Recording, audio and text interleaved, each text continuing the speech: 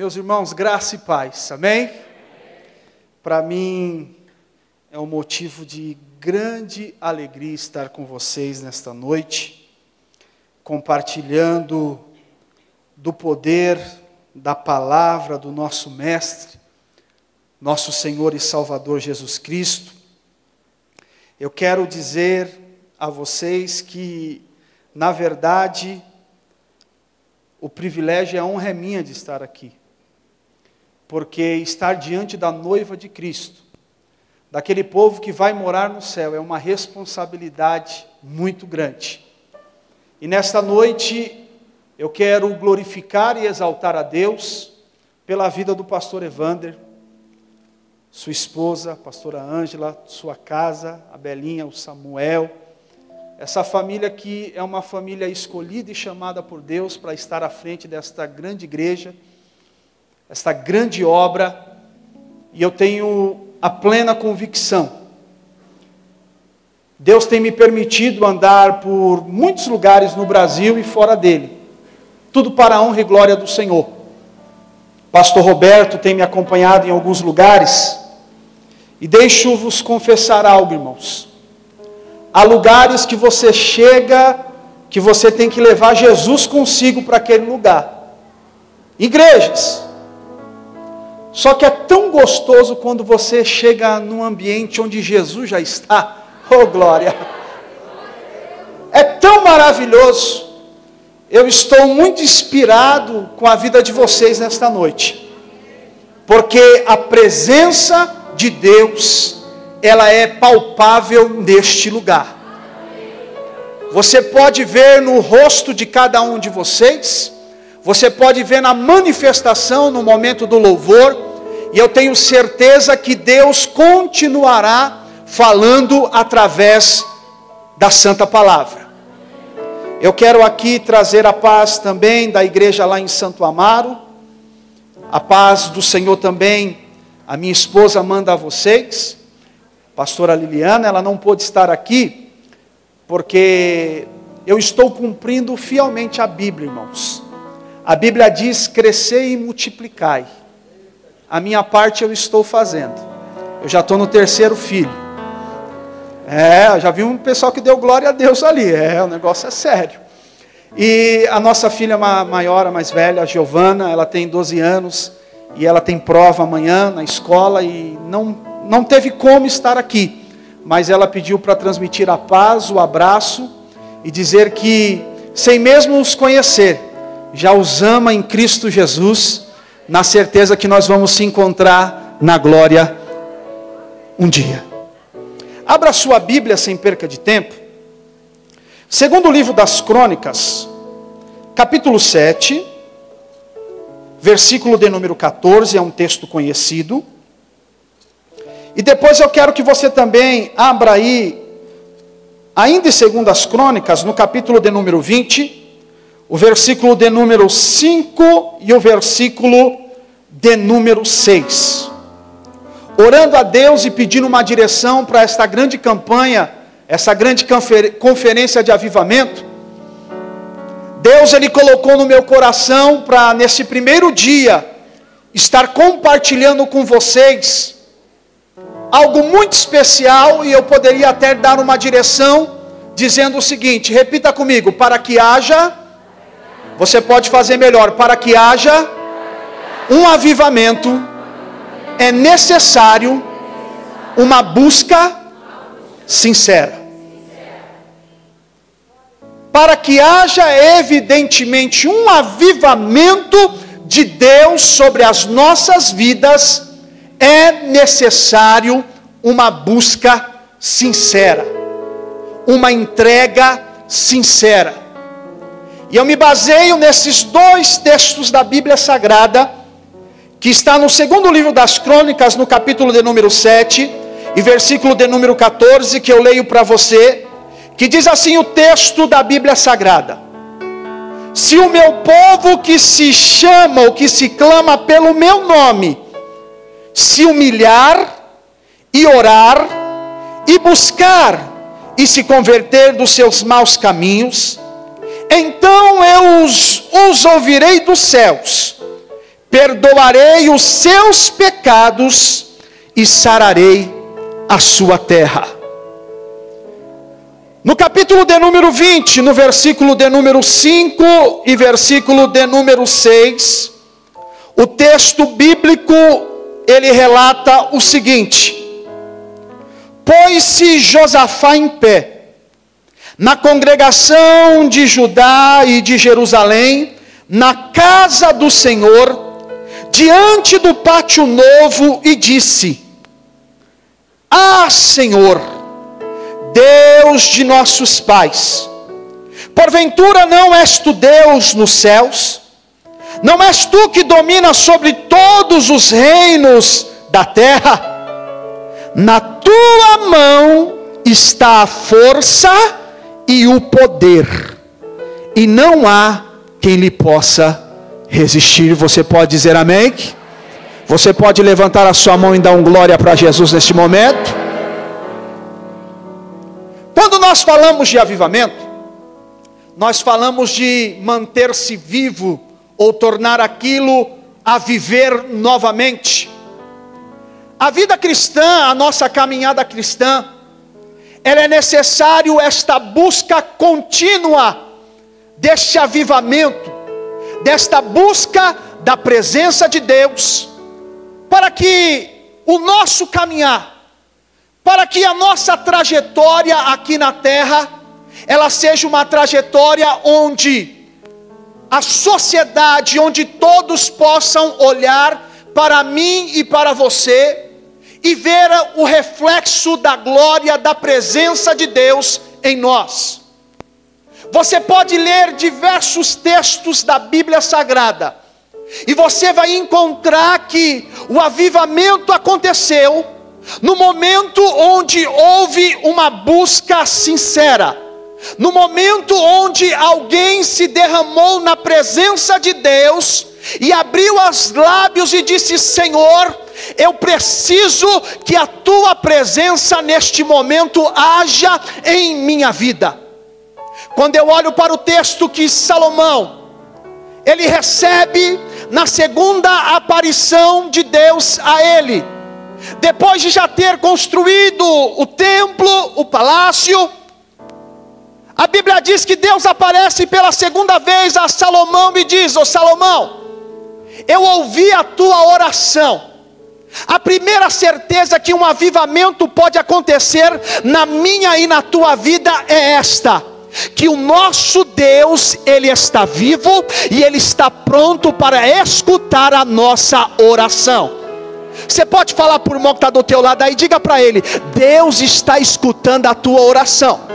Diga para ele, porque enquanto você está clamando a Deus aqui, você não imagina o que está acontecendo no mundo espiritual. Enquanto você está orando e clamando aqui, Deus já está entrando lá na tua casa com providência. Deus está mudando a história que ao vez você está falando, Senhor, é impossível acontecer, mas Deus está fazendo, está dizendo, eu estou levando vida àquele lugar porque eu estou pronto a ouvir. O primeiro passo é entender que Deus, Ele está pronto a escutar a nossa oração. De igual maneira que quando Ele escuta Salomão, Ele começa a falar: Salomão, a partir de agora eu quero fazer uma aliança contigo. E aliança é essa, Salomão. Pode acontecer o que for aqui nesta terra Pode vir a peste, eu posso cerrar os céus, de maneira que não haja chuva, ou ordenar aos gafanhotos que consuma toda a terra, ou até mesmo se eu enviar peste entre o meu povo, eu tenho uma aliança contigo. Se houver uma entrega verdadeira e completa, haverá avivamento sobre a terra. Ele começa dizendo: Se o meu povo que se clama pelo meu nome se humilhar e orar e buscar a minha face, eu vou ouvir do céu, eu vou perdoar os pecados, e eu vou sarar, eu vou curar a terra. Enquanto você busca ao Deus Todo-Poderoso, Deus está falando, há uma promessa de avivamento que vai começar a acontecer na tua vida você vai começar a chegar na tua casa, levantar a tua mão e dizer: Neste ano de 2018, eu e a minha casa servirá ao Senhor Jesus. Você vai chegar na tua empresa, vai levantar a tua mão e vai começar a clamar, dizendo: Deus, eu acredito que todos aqui vão conhecer que o Senhor é o Deus de Israel, vão conhecer que o Senhor é o Deus que está acima de todas as coisas, e haverá mudança nesse quadro. Aliança Deus faz com Salomão. É necessário ouvir um quebrantamento, é necessário ouvir uma entrega verdadeira, por quê? Porque tudo que Deus faz, em mim e em você, Ele não quer que também nós façamos aquilo que Ele deu em nós, pela metade. Repita comigo: Deus não me quer pela metade. Fala, Deus me quer por completo. A verdade é essa. Prova, pastor. Quando Samuel ele foi na casa de Jessé, ungiu o rei, passaram-se todos os filhos a Bíblia diz que o profeta falou: cadê? Acabou-se os jovens, os mancebos. O pai diz: não, tem um menorzinho que está lá cuidando das ovelhas, manda trazer ele, porque enquanto ele não chegar, nós não vamos se assentar à mesa. Chamam Davi, a história bíblica você conhece lá em 1 Samuel, capítulo de número 16, que quando Davi chega na presença de Samuel, ele pega um chifre de azeite e derrama sobre Davi, e o texto da Bíblia Sagrada diz que o Espírito de Deus se apoderou de Davi. A palavra se apoderar não é tomar pela metade, mas pelo contrário, tomar por completo. O que Deus quer fazer na tua vida é te tomar por completo. Ele quer derramar o espírito dele sobre você e dizer: a partir de agora, você é um agente do avivamento aonde quer que você vá. Eu já quero profetizar aqui. Se você acredita, já levanta a tua mão e vai tomando posse das palavras que eu estou liberando. Eu quero profetizar que haverá pessoas aqui na Catedral Metodista de Petrópolis que vai chegar em locais que alguém vai olhar para você e vai falar: O que está acontecendo com você? Você está diferente, tem um brilho diferente na tua face. Você está falando, é porque o Espírito de Deus está se apoderado pela minha vida e agora eu sou um agente de avivamento. Você vê que depois que Davi recebe a unção do poder do Espírito, ele mata gigante, ele faz grandes obras. Mas vamos voltar para o texto aqui. Para que haja um avivamento é necessária essa entrega completa, verdadeira. Eu falo isso muito na igreja. A gente que é pentecostal de berço, os assembleanos, por muitas vezes a gente, por estar aquele costume do dia a dia, na igreja a gente quer fazer algumas coisas, aquele culto, quando a gente vai para aquele culto e parece que as coisas estão tá travadas, o céu está de bronze, parece que nada está acontecendo, e aí eu falo, irmãos, para com esse negócio de falar, vamos ficar de pé, eu estou vendo um anjo, tô... não, você pode até ver anjo, mas tem que ser uma entrega sincera, porque se não tiver bom, talvez você precisa se derramar diante de Deus e falar, Deus, o que está acontecendo comigo para que haja uma mudança na minha vida verdadeira? A gente precisa se entregar verdadeiramente para Deus, porque a promessa ela é real. A promessa ela é verdadeira. Se alguém clamar, eu vou responder e vou sarar a terra. Por isso que eu amo a Bíblia e os Salmos, porque o salmista, no Salmo de número 34, no versículo de número 17, ele declara que os justos clamam e o Senhor os ouve e os livra de todas as angústias. É certo que quando há uma entrega verdadeira, há um avivamento, há uma ação de Deus em nossas vidas. Depois que Deus faz essa aliança com Salomão, você continua olhando no texto da Bíblia, Bíblia, da Bíblia, as histórias dos reis. E chegamos na história do capítulo 20 de Josafá. Depois da morte de Salomão, o texto, a história bíblica conta que o reino ele é dividido: o reino do norte, o reino do sul, o reino de Jerusalém e Judá. Acabe reinava sobre Jerusalém, Josafá reinava sobre Judá, e o texto da Bíblia diz que Josafá, Deus se agradava dele porque ele era um homem que ensinava a palavra, ele era um homem que tinha entrega verdadeira diante de Deus, e era um agente de um avivamento aonde estava.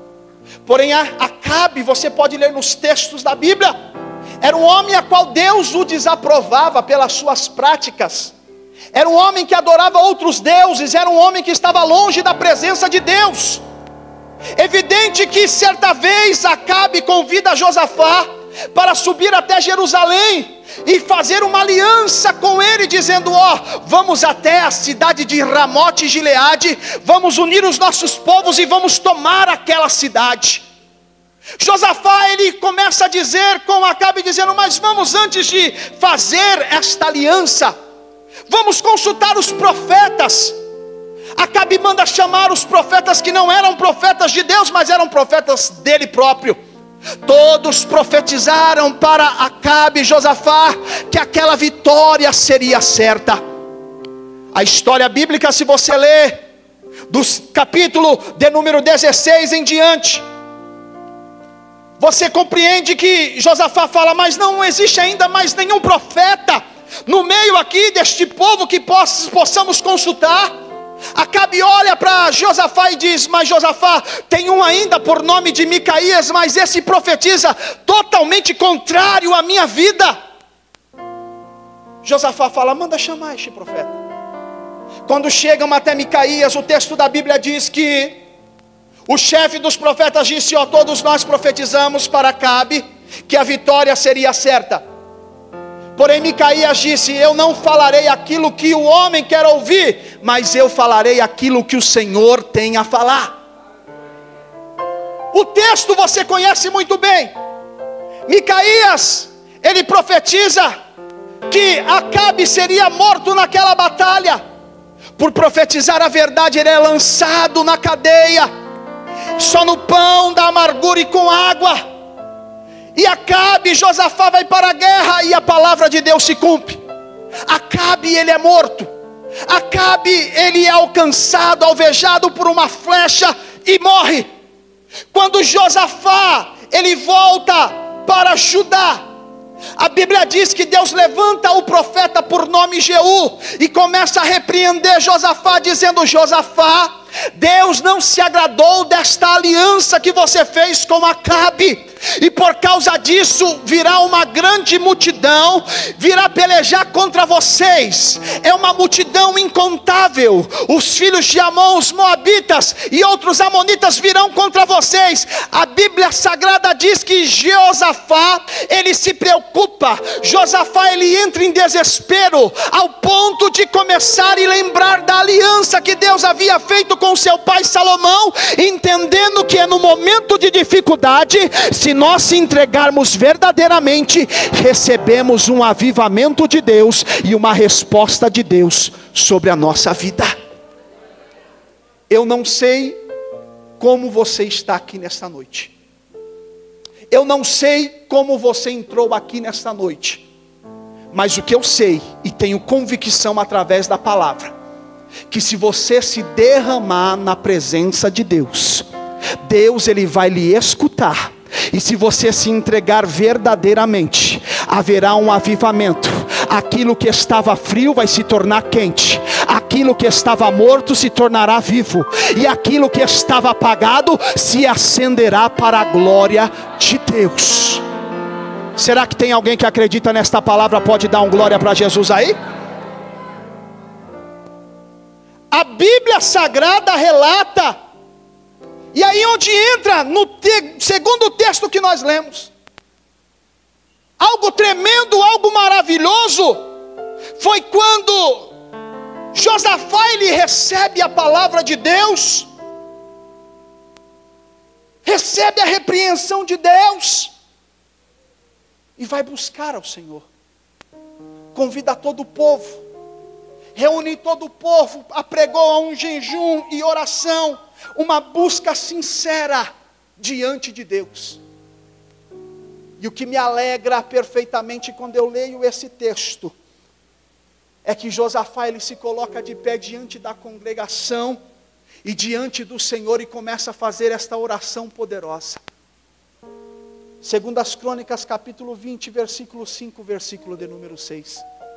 Ah, Senhor Deus de nossos pais, Porventura tu não és o Senhor, o Deus que está na, acima de todos, que reina todos aqui, todos os povos na terra. Não é o Senhor que tem todo o poder sobre nós. Uma coisa eu sei: na tua mão há força e há poder, e ninguém pode resistir. Você pode fazer essa ação falando para duas pessoas do teu lado, fala: em Deus há poder para mudar a trajetória da tua vida. Você crê nisso que você falou para a pessoa aí? Você pode aplaudir Jesus? A Ele honra, glória, louvor e adoração. Veja, quando há uma busca sincera, ah, meu irmão, não tem como Deus não se movimentar do céu para a terra e se atentar a um clamor verdadeiro aqui na terra. Eu li um livro sobre o poder da oração, onde o autor dizia o seguinte: que para o céu se movimentar, primeiramente a terra se movimenta. De que forma a terra se movimenta? É quando um homem e uma mulher de Deus em busca de algo novo, em busca de um socorro, em busca de um avivamento, ele se prostra diante de Deus em sinceridade e começa a clamar ao Senhor. Quando você começa a clamar ao Senhor aqui da terra, a tua oração ela vai chegando como cheiro suave diante de Deus. E Deus se coloca de pé do trono dele e olha lá para baixo e diz: Ei, tem uma igreja lá em Petrópolis, no Rio de Janeiro, que está buscando um avivamento, que está pedindo algo novo, que está clamando algo novo da parte minha sobre a vida deles. E aí Deus se inclina da terra e diz: Agora chegou a minha hora de se movimentar em favor da minha igreja lá na terra. Sabe o que eu quero profetizar? Levanta a tua mão nesta noite, que eu quero liberar esta palavra profética sobre a tua vida, que enquanto você está com a tua mão levantada aqui, Deus já se inclinou do trono dele e está dizendo: Eu já estou abençoando pessoas aqui nesta noite, eu já estou mudando a história de pessoas aqui nesta noite, eu já estou trazendo algo novo para a vida de pessoas aqui nesta noite. Se você acredita, glorifica esse Deus Todo-Poderoso, exalte a Ele. Porque quando você se entrega, meu irmão, quando você se derrama, você diz: Deus, eu preciso de uma ação nova sua sobre a minha vida. Eu preciso de algo novo da tua parte sobre a minha vida. Josafá, ele estava exemplificando isso, Senhor. Vai vir uma grande multidão pelejar é incontável o número de homens que virá contra nós para esta peleja, mas eu confio em ti, e eu e o povo se coloca diante de ti em clamor, em louvor, em adoração, na certeza que o Senhor irá agir. Você pode olhar para tantos outros exemplos na Bíblia Sagrada, que Deus, quando alguém se colocou diante dele em clamor, aconteceu algo novo, aconteceu algo tremendo. Prova, pastor, Samuel, Ana, diante do altar do Senhor, clamando, precisando de algo de Deus, se derrama diante do altar do Senhor, e o sacerdote até a tem como uma mulher embriagada e diz: Ei mulher, por que você vem embriagada buscar? A Deus, sacrificar ao Senhor, Senhor. Aí ela responde: Meu Senhor, eu não estou embriagada, eu estou com a alma atribulada, mas eu estou aqui clamando a um Deus que eu tenho certeza que irá me responder. O texto da Bíblia diz que o sacerdote olha para ela e fala: Mulher, vá em paz, que o Deus de Israel te conceda aquilo que você tem pedido. Quando há uma entrega verdadeira, há uma ação de Deus. Não há como você estar aqui nesta noite clamando em sinceridade, se derramando na presença do Senhor, achando que nada vai acontecer na tua vida. Pelo contrário, enquanto mais você está clamando a Deus, mais Deus está trabalhando por você. Enquanto mais você está buscando ao Senhor, Deus está dizendo: Eu vou fazer na tua vida. Josafá, ele mostra isso. Ele exemplifica isso no texto, ele busca o Senhor, faz uma oração de entrega. Senhor, tu é Deus. Senhor, tu és o grande. Tu está acima de tudo e de todos nas tuas mãos, a força e poder, e não há ninguém que lhe possa resistir. Não há ninguém. Porque quando você clama a esse Deus que é grande, que é fiel, que é poderoso, não há nada que possa impedir o agir de Deus. Por isso que o salmista, eu amo o salmo de número 24. Davi ele começa a cantar: Ao Senhor pertence a terra e tudo que nela se contém, o mundo e os que nele habitam. Ele fundou sobre os mares e sobre as correntes a estabeleceu. Quem subirá ao monte do Senhor? E quem há de permanecer no seu santo lugar? o que é limpo de mãos e puro de coração, que não se entrega a sua alma à vaidade, nem jura dolos, dolosamente, este obterá do Senhor a bênção e a justiça do Deus da salvação. Tal é a geração dos que o buscam, dos que o buscam a tua face, ó Deus de Jacó. Oh glória! Levantai as portas às vossas cabeças, levantai-vos aos portais eternos, para que entre o Rei da Glória. Quem é o Rei da Glória? É o Senhor forte e poderoso, o Senhor poderoso nas batalhas.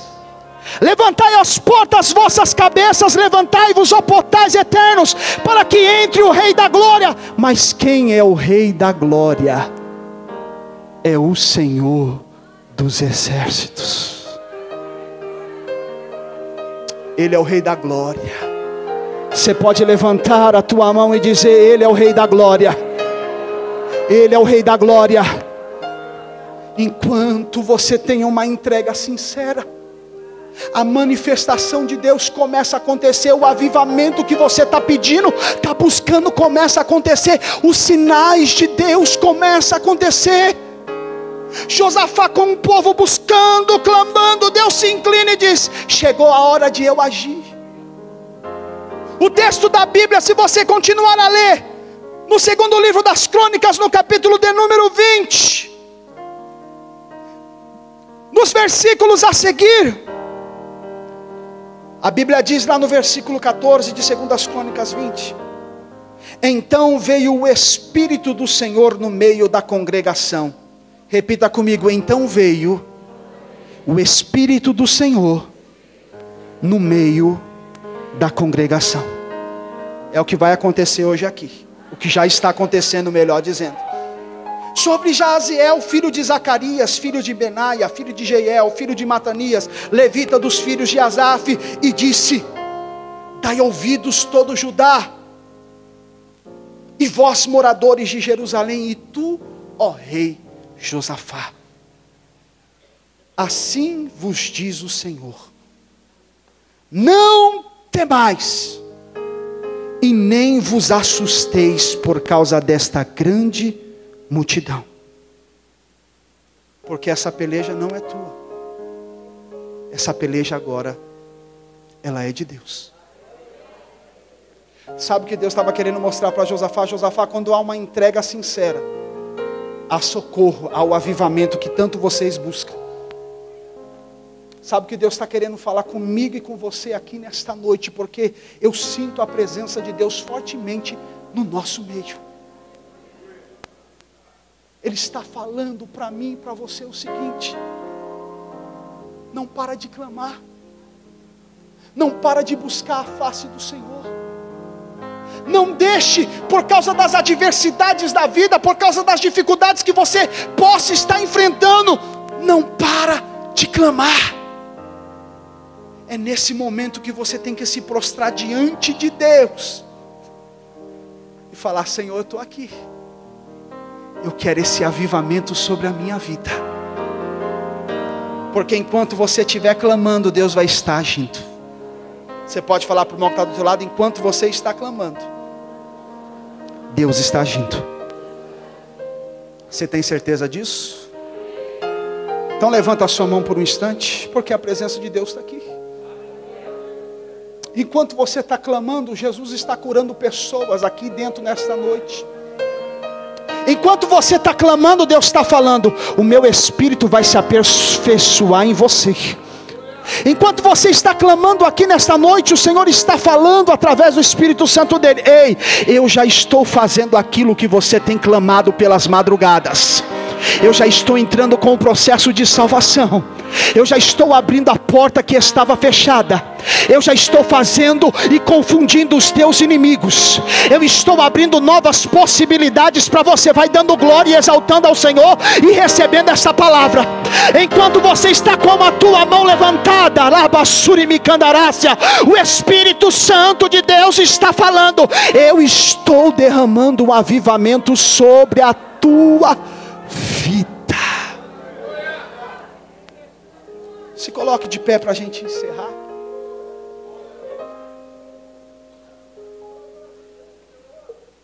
Espírito da Verdade. Para que haja um avivamento verdadeiro, é necessário uma entrega verdadeira, uma entrega de verdade, uma entrega. Nós estamos numa conferência de avivamento, aviva. Repita comigo, aviva. Ó Senhor, a tua obra. Se você entende que para você receber esse avivamento que você tanto está pedindo nesse mês de maio, é necessário verdadeiramente uma entrega. É necessário verdadeiramente clamar, não, não fazer algo substancial, artificial, não, mas uma entrega verdadeira. Eu sinto pelo Espírito Santo de Deus que está aqui no nosso meio nesta noite, aleluia. Que Deus vai levantar nesta igreja pessoas que vão impactar não só essa cidade, mas o Brasil. Deus está levantando essa geração jovem que vai fazer a diferença. E eu quero convidar você que entende a sair do teu lugar e vir diante do altar. Você que verdadeiramente fala, Senhor, eu preciso desta entrega, eu vou fazer essa entrega para que verdadeiramente o avivamento aconteça na minha vida. Eu quero você diante do altar que eu vou orar. Eu vou orar por você. Cadê o grupo de louvor? Vem para cá, para vocês adorar.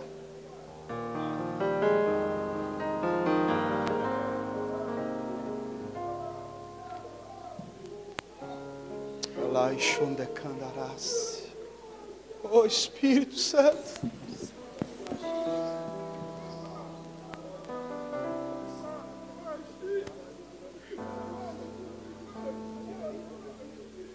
Vou fazer uma. Nós vamos orar juntos nessa noite. Nós vamos orar juntos. Nós vamos falar, Senhor, a nossa entrega é verdadeira porque nós queremos viver este avivamento pleno. Nós queremos viver este avivamento pleno. Nós vamos orar juntos, depois o ministério de louvor vai cantar e você vai clamando, e o Senhor vai se derramando diante do Senhor, falando com Deus, dizendo: Senhor, eu quero fazer parte deste avivamento que o Senhor já estabeleceu aqui em Petrópolis. E Deus vai levantar jovens aqui neste lugar. Que a nação brasileira vai ser incendiada através do poder do Espírito Santo de Deus. Feche os teus olhos, comece a orar, diga: Senhor, eu estou aqui, Pai. Eu oro, Senhor, com meu irmão que está diante do altar. Espírito da verdade, Tu estás aqui no nosso meio. A tua presença é notória e real neste lugar. Está aqui, Senhor, esses homens, essas mulheres, estes jovens diante do teu altar, entendendo, Pai, que é necessário uma entrega verdadeira para que haja o avivamento. Eu peço humildemente, Espírito Santo da verdade, toca na vida deste irmão agora toca na vida desta irmã agora. Toca na vida deste jovem agora.